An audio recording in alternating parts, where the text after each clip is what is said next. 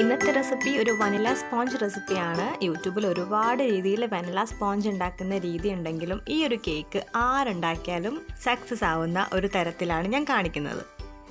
Vanilla sponge വെച്ച് ചെയ്യുന്ന കേക്ക്സിന്റെ അകത്തൊക്കെ വെക്കാൻ പറ്റുന്ന ഒരു ഈസി ആയിട്ടുള്ള ഒരു സ്പഞ്ചും കൂടിയാണിത്. അപ്പോൾ വീഡിയോയിലേക്ക് കടക്കുന്നതിന് മുൻപായിട്ട് എന്റെ യൂട്യൂബ് ചാനൽ നിങ്ങൾ ആദ്യമായിട്ടാണ് കാണുന്നതെങ്കിൽ ഒന്ന് സബ്സ്ക്രൈബ് ചെയ്ത് സപ്പോർട്ട് ചെയ്യണം. അപ്പോൾ വൺ കെ ജി വെയിറ്റ് വരുന്ന ഒരു കേക്കിന്റെ ബേസാണ് ഞാനിവിടെ ഉണ്ടാക്കാൻ പോകുന്നത്. നിങ്ങൾ ബിഗിനേഴ്സ് ആണെന്നുണ്ടെങ്കിൽ ഈ കേക്ക് എന്തായാലും നിങ്ങൾ ട്രൈ ചെയ്ത് നോക്കിക്കോളൂ. ഒരിക്കലും ഫ്ലോപ്പ് ആവില്ല എന്ന് ഞാൻ ഗ്യാരണ്ടി എട്ട് ഇഞ്ചിന്റെ ഒരു പാനാണ് ഞാനിവിടെ ഗ്രീസ് ചെയ്യുന്നത്. ഗ്രീസ് ചെയ്ത് ബട്ടർ പേപ്പറൊക്കെ വെച്ചിട്ട് ആദ്യം തന്നെ നമുക്കതൊന്ന് സെറ്റാക്കിയിട്ട് എടുക്കണം. കേക്ക് ഉണ്ടാക്കാൻ നിൽക്കുന്നതിന് മുൻപായിട്ട് നമ്മൾ ഈ ഒരു പ്രൊസീജിയർ ആദ്യം തന്നെ ചെയ്തെടുക്കുക. പാൻ ഗ്രീസ് ചെയ്യാൻ വേണ്ടിയിട്ട് ഓയിലോ ബട്ടറോ നിങ്ങൾക്ക് എടുക്കാവുന്നതാണ്. ഓയിൽ എടുക്കുമ്പോൾ സൺഫ്ലവർ ഓയിൽ തന്നെ ആവാൻ ശ്രദ്ധിക്കുക. അപ്പോൾ കേക്ക് ഉണ്ടാക്കാൻ നിൽക്കുന്നതിന്റെ ഫസ്റ്റ് സ്റ്റെപ്പാണ് ഈ പാൻ ഒന്ന് ഗ്രീസ് ചെയ്ത് വെക്കുക എന്നുള്ളത്. ഇനി അടുത്ത സ്റ്റെപ്പ് നമുക്കൊന്ന് നോക്കാം. കേക്കിലേക്ക് ആവശ്യമായിട്ടുള്ള ഡ്രൈ ഇൻഗ്രീഡിയൻസ് ഒന്ന് അരിച്ചെടുക്കുക എന്നതാണ് രണ്ടാമത്തെ സ്റ്റെപ്പ് അപ്പോൾ നമ്മൾ ആദ്യം തന്നെ വൺ കപ്പ് മൈദയാണ് എടുത്തിട്ടുള്ളത് ഞാൻ വൺ കപ്പ് മൈദയിലേക്ക് വൺ ടീസ്പൂൺ ബേക്കിംഗ് പൗഡറാണ് യൂസ് ചെയ്യുന്നത്. നമ്മൾ ഈ കേക്കിലേക്ക് ബേക്കിംഗ് സോഡയോ വിനെഗറോ ഒന്നും ചേർക്കുന്നില്ല. ഒരു രണ്ടോ മൂന്നോ തവണ നന്നായിട്ട് അരിച്ചെടുക്കണം. ബേക്കിംഗ് പൗഡറും മൈദയും കൂടെ ഒന്ന് മിക്സ് ആവാനും പിന്നെ അതിലെന്തെങ്കിലും വേസ്റ്റ് ഉണ്ടെങ്കിൽ അതൊന്ന് റിമൂവ് ചെയ്യാനും വേണ്ടിയിട്ടാണ് നമ്മളിങ്ങനെ അരിച്ച് മാറ്റിയെടുക്കുന്നത്. ബേക്കിംഗ് പൗഡറും മൈദയും കൂടെ നന്നായിട്ട് മിക്സ് ആയിട്ടില്ല എന്നുണ്ടെങ്കിൽ നമ്മുടെ കേക്കിന്റെ മുകൾ ഭാഗം ഒരു ഭാഗം താഴ്ന്നിട്ട് ഒരു ഭാഗം പൊങ്ങിയിട്ട് ഒരു ഷേപ്പ് ഇല്ലാതെ ആയിരിക്കും നമുക്ക് കിട്ടുക. അപ്പോൾ അതുകൊണ്ട് നന്നായിട്ട് തന്നെ മിക്സ് ആവാൻ ശ്രദ്ധിക്കാം. കേക്ക് ഉണ്ടാക്കാൻ നമ്മൾ എടുക്കുന്ന ഓരോ പാത്രങ്ങളും ഒട്ടും വെള്ളമില്ലാതെ നന്നായിട്ട് തന്നെ തുടച്ചെടുക്കാൻ വേണ്ടി ശ്രദ്ധിക്കണം. ഒരു തുള്ളി പോലും വെള്ളം ഉണ്ടാവാൻ പാടില്ല. ഇനി ഞാൻ ഇതിലേക്ക് മുക്കാൽ കപ്പ് ഷുഗറാണ് പൊടിച്ചെടുത്തിട്ടുള്ളത്.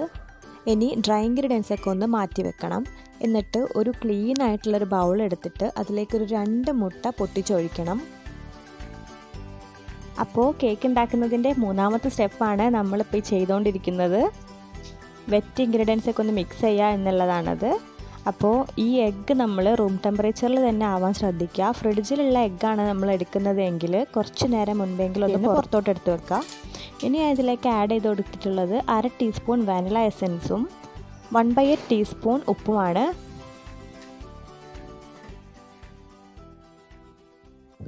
ഇനി ഇതെല്ലാം കൂടെ ഒന്ന് ലോ സ്പീഡിൽ ഇട്ടിട്ട് ബീറ്റ് ചെയ്യാൻ വേണ്ടി സ്റ്റാർട്ട് ചെയ്യുക ആദ്യം വൺ സ്പീഡിൽ ഇട്ടിട്ട് തന്നെ സ്റ്റാർട്ട് ചെയ്യുക കുറച്ച് നേരം വൺ സ്പീഡിൽ ഇട്ടിട്ട് തന്നെ നമ്മൾ ബീറ്റ് ചെയ്യണം. എഗ്ഗ് ഒന്ന് പതഞ്ഞ് നിന്ന് ബബിൾസൊക്കെ വന്ന് തുടങ്ങി ഒന്ന് ലൂസായി തുടങ്ങിയതിന് ശേഷം നമ്മൾ പൊടിച്ച് വെച്ചിട്ടുള്ള നമ്മുടെ മുക്കാൽ കപ്പ് പഞ്ചസാര കുറച്ച് കുറച്ചായിട്ട് ആഡ് ചെയ്തിട്ട് നന്നായിട്ടൊന്ന് ബീറ്റ് ചെയ്ത് കൊടുക്കണം. എന്നിട്ട് നല്ല ഫ്ലഫി ആയി വരുന്നത് വരെ തന്നെ ബീറ്റ് ചെയ്യുക ബീറ്റ് ചെയ്യുന്നതിന്റെ ഇടയ്ക്ക് നമ്മൾ സ്പീഡ് കൂട്ടിയും കുറച്ചൊന്നും കൊടുക്കരുത്. ലോ സ്പീഡിൽ തുടങ്ങി ഹൈ സ്പീഡിൽ തന്നെ നമ്മൾ ബീറ്റ് ചെയ്യണം. പിന്നെ നമ്മൾ ബീറ്റർ കറക്കുന്ന ഡയറക്ഷനും സെയിം തന്നെ ആവുക ഓപ്പോസിറ്റ് ഡയറക്ഷനിലും അങ്ങനെ കറക്കി കൊടുക്കാതിരിക്കുക ഒരേ ഡയറക്ഷനിൽ തന്നെ ബീറ്റർ ഇങ്ങനെ കറക്കി കൊടുക്കുക നമ്മൾ ഈ റെസിപ്പിയിലേക്ക് എടുക്കുന്ന ഷുഗർ പൊടിക്കണമെന്ന് നിർബന്ധമൊന്നുമില്ല കേട്ടോ ഇതിലേക്ക് തരി കുറഞ്ഞ പഞ്ചസാര ഒക്കെ ആണെന്നുണ്ടെങ്കിൽ പൊടിക്കേണ്ട ആവശ്യമില്ല. അതേപോലെ തന്നെ നമുക്ക് മുക്കാൽ കപ്പ് ചേർത്ത് കൊടുക്കാം. പിന്നെ ഒരു കപ്പ് ഷുഗർ ചേർക്കേണ്ട ആവശ്യമില്ല. അതുകൊണ്ടാണ് മുക്കാൽ ചേർക്കുന്നത്.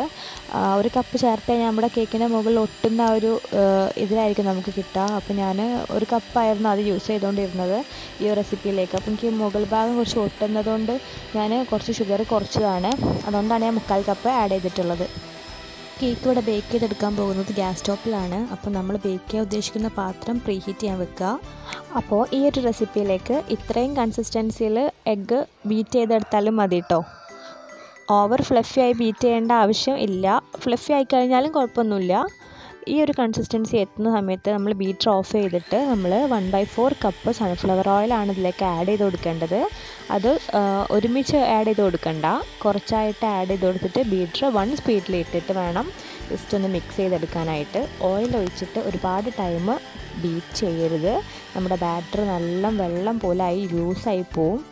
അപ്പോൾ ഈ ഒരു സമയത്ത് നമുക്ക് നമ്മുടെ ബീറ്റർ ഓഫ് ചെയ്യാം. ഇനി ഇതിലേക്ക് നമുക്ക് ആഡ് ചെയ്ത് കൊടുക്കാനുള്ളത് നമ്മുടെ ഡ്രൈ ഇൻഗ്രീഡിയൻസ് ആണ്. കുറച്ച് കുറച്ചായിട്ട് ഒരു മൂന്ന് ബാച്ച് നാല് ബാച്ചായിട്ട് വേണം നമുക്ക് നമ്മുടെ ഡ്രൈ ഇൻഗ്രീഡിയൻസ് ഇതിലേക്കൊന്ന് ആഡ് ചെയ്ത് കൊടുക്കാൻ വേണ്ടിയിട്ട്.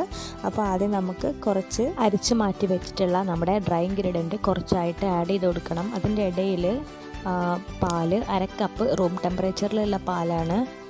നേര് ചൂടുള്ള പാലെടുത്താലും കുഴപ്പമില്ല. ഞാനിവിടെ റൂം ടെമ്പറേച്ചറിലുള്ള പാലാണ് എടുത്തിട്ടുള്ളത്. അപ്പോൾ രണ്ടും കൂടെ ഇടവിട്ട് ഇടവിട്ട് പതുക്കെ പതുക്കെ മിക്സ് ചെയ്യണം. ഞാൻ വീഡിയോ കുറച്ച് സ്പീഡാക്കിയതുകൊണ്ടാണ് ഞാൻ സ്പീഡിൽ ചെയ്യുന്ന പോലെ തോന്നുന്നത്. വളരെ ശ്രദ്ധിച്ച് വേണം ഈ ഒരു സ്റ്റെപ്പ് ചെയ്യാൻ വേണ്ടിയിട്ട്. ഒരേ മെത്തേഡ് തന്നെ കട്ട് ആൻഡ് ഫോൾഡ് മെത്തേഡിൽ തന്നെ വേണം അതൊന്ന് ചെയ്തെടുക്കാൻ വേണ്ടിയിട്ട്. മൊത്തമായിട്ട് നമ്മുടെ ഈ ഒരു മാവ് കുത്തി ഇളക്കരുത് നമ്മുടെ കേക്ക് കുഴിഞ്ഞു പോവാനും കേക്ക് ഫ്ലോപ്പായി പോകാനൊക്കെ ചാൻസ് ഉണ്ട്. ഈ ഒരു സ്റ്റെപ്പ് നന്നായിട്ടില്ലെങ്കിൽ. അപ്പം നല്ല രീതിയിൽ തന്നെ ഈ ഒരു സ്റ്റെപ്പ് ചെയ്തെടുക്കുക. ഇതാണ് നമ്മുടെ ഫോർത്ത് സ്റ്റെപ്പ് ഈ ഒരു മെത്തേഡ് ചെയ്യാൻ വേണ്ടിയിട്ട് സ്പാച്ചുലാണ് ഏറ്റവും നല്ലത്. സ്പാച്ചുല ഇല്ല എന്നുണ്ടെങ്കിൽ മാത്രം ഫ്ലാറ്റ് ആയിട്ടുള്ള എന്തെങ്കിലും ചട്ടകോ അങ്ങനെ എന്തെങ്കിലും എടുക്കുക. സ്പൂണോ കൈലോ അങ്ങനെ ഒന്നും എടുക്കാതിരിക്കുക. നല്ല രീതിയിൽ തന്നെ നല്ല സ്മൂത്തായിട്ട് സോഫ്റ്റായിട്ട് നല്ല സ്ലോലി ചെയ്തെടുക്കുക. ഈ ഒരു സ്റ്റെപ്പ് എന്നതിന് ശേഷം നമ്മുടെ ബാറ്റർ നേരത്തെ ഗ്രീസ് ചെയ്ത് വെച്ചിട്ടുള്ള മോൾഡിലേക്ക് നമുക്ക് കുറച്ച് പൊക്കി ഒഴിച്ചു കൊടുക്കണം. എന്നിട്ട് നന്നായിട്ടൊന്ന് ടാപ്പ് ചെയ്ത് കൊടുക്കണം. ഇതിന്റെ അകത്തുള്ള എയർ ബബിൾസൊക്കെ ഒന്ന് പൊട്ടാൻ വേണ്ടിയിട്ടാണ് അങ്ങനെ ടാപ്പ് ചെയ്യുന്നത്. എന്നിട്ട് ഞാൻ ഗ്യാസ് സ്റ്റോപ്പിലാണ് ഇത് ബേക്ക് ചെയ്തെടുക്കാൻ പോകുന്നത്. ചൂടായ പാത്രത്തിലേക്ക് ഇത് ഞാൻ ഇറക്കി വെച്ച് കൊടുത്തിട്ട് ഒരു ഫോർട്ടി മിനിറ്റ്സ് ബേക്ക് ചെയ്തിട്ടെടുക്കാം